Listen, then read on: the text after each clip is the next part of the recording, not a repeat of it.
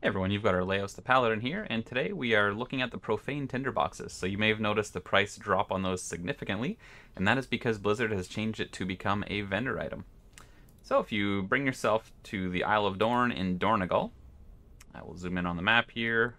We're right in the blacksmithing area, so there's sort of a building that you need to enter. We'll put the coordinates up here as well. And we're looking for Borgos is the name of the vendor here. It's right next to the blacksmith's table. Um, so there are four different currency or four different items you can exchange for them. We've got three Gloomfathom hides, three Vial of Kaheti oils, three Viridian Charm Cap, and three Ring Deeps ingots. So you may notice that those items have actually spiked up in price right now versus what they were, and the Profane Tinderboxes have dropped significantly. Um, so I'm actually using the Auctionator add-on is what's uh, showing the estimated prices, and that's just the last time that I looked them up on the auction house.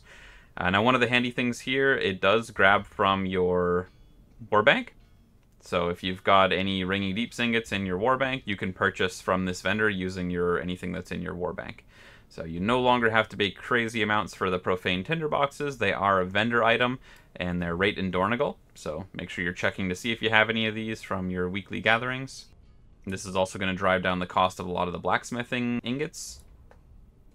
So you may notice a, a shift down in a lot of the material costs, and that's because they are vendors. So hopefully you found this helpful. If you did, please hit that like button. I appreciate you guys a lot, and uh, happy hunting. See you next time.